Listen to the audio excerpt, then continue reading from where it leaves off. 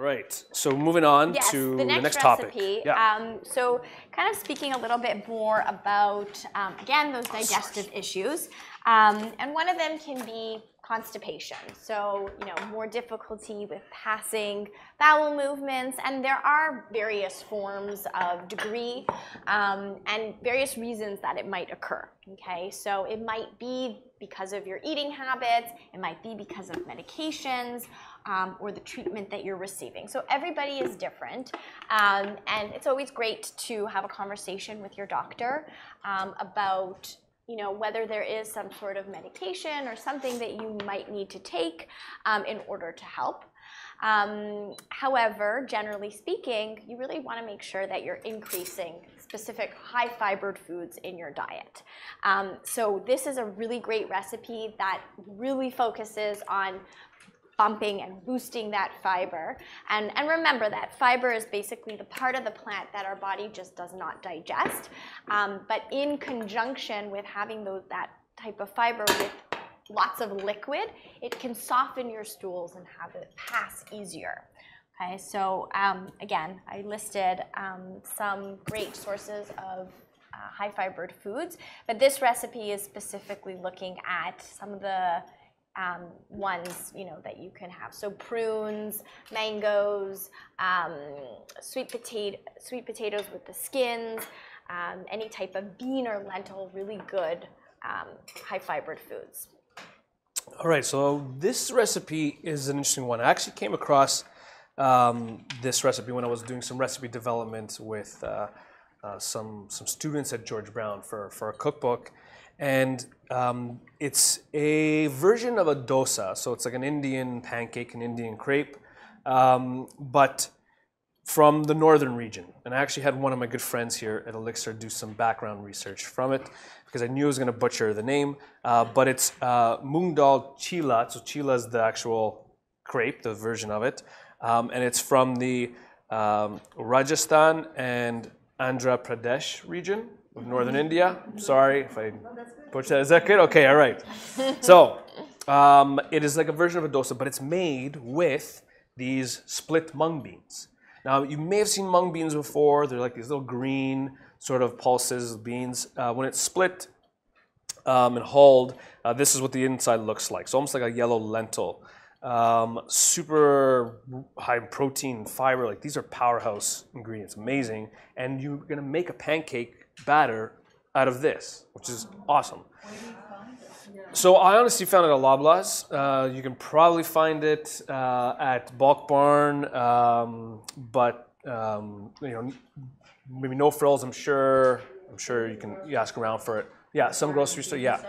Sorry.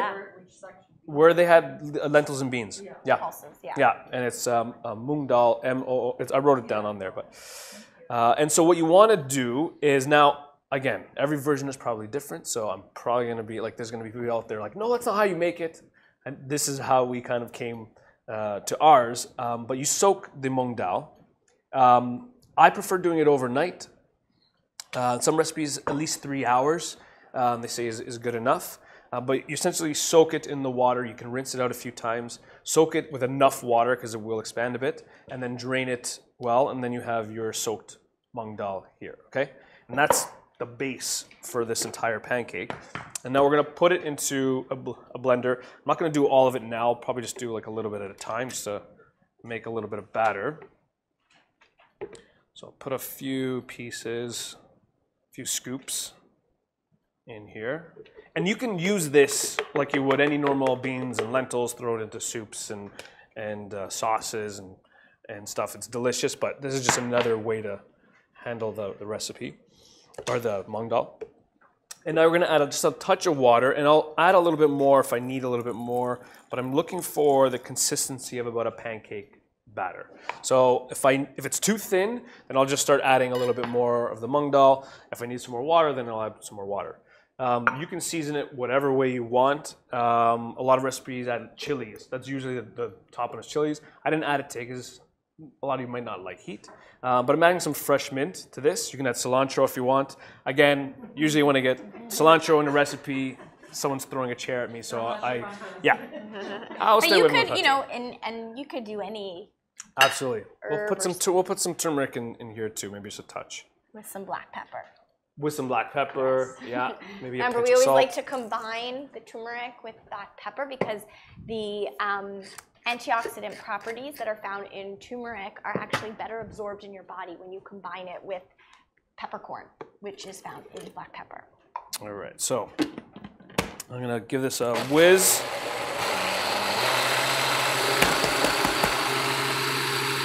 You want to break everything down.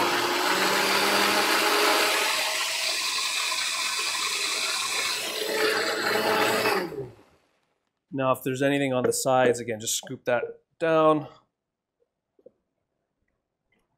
If it's a little chunky, that's okay. But we want to try to get it as smooth as possible.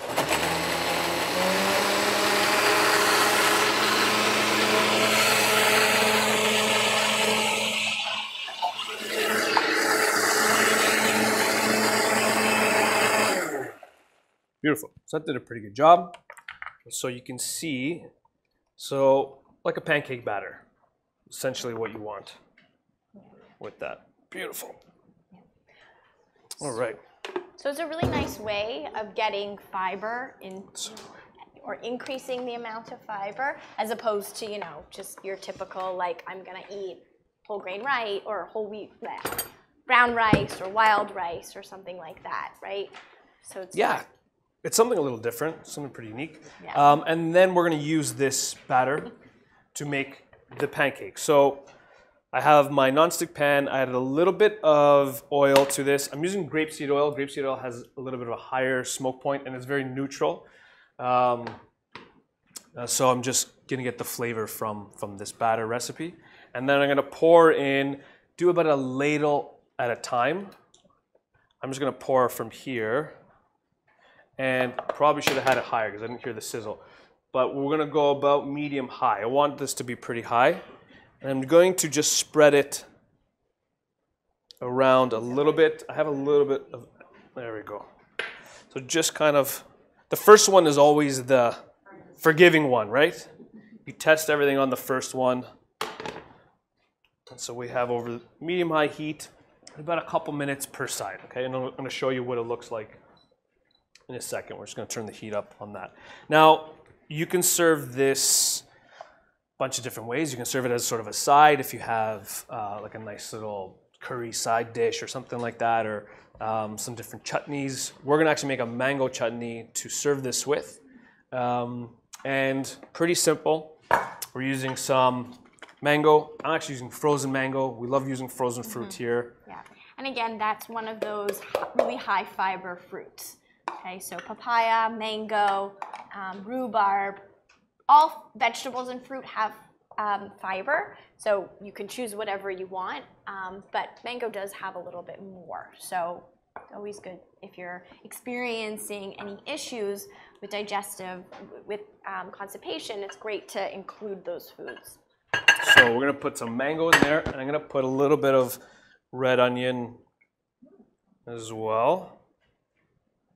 Um, I'll throw maybe a little bit of ginger. I love ginger and mango together, and I'm putting some like nice big slices in there. If you want to grate it, You can grate it.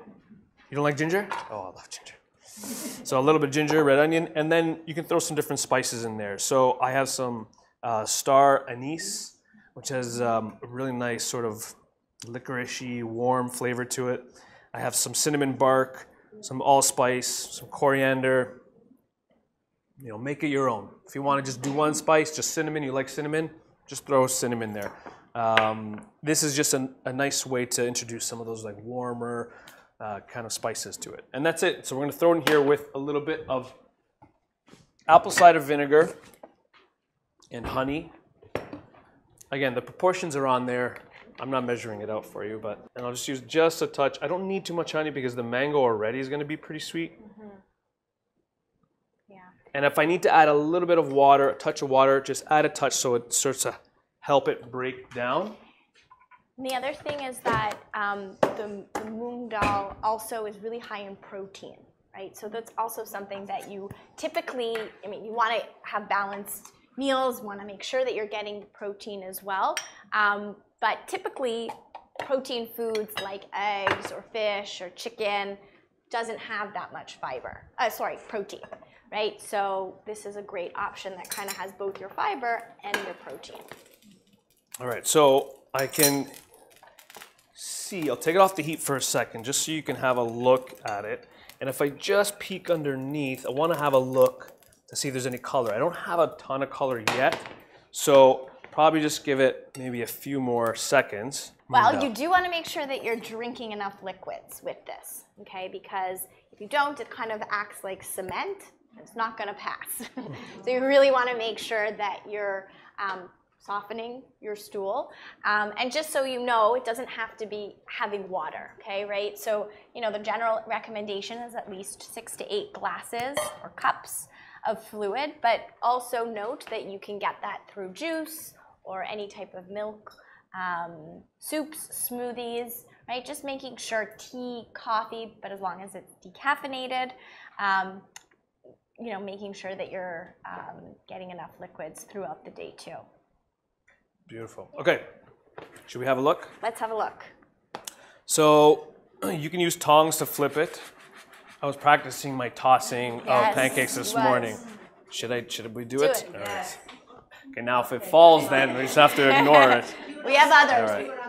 Yeah. All right. So I probably could have left it even just a little bit longer just to get a little bit more color, but you can already see the color starting to develop on there. Um, and then you just want to again get the other side a little bit.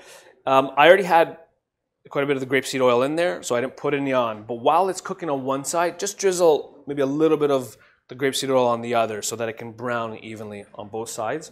Um, but that's essentially it to make your pancake. A couple, you know, more minutes on that side, and did a few ahead of time, but that's what they look like, right? So you have these beautiful, you know, mung bean pancakes, which I mean, it's pretty wild that that is just lentil. There's no flour or anything in there. It's just the pureed uh, mung bean itself. Uh, and then, like I said, you can serve it. So the chutney, after about 15, 20 minutes, it'll break down into this really, really nice little spread, and it'll have that sort of sweet and savory uh, sort of feeling with it.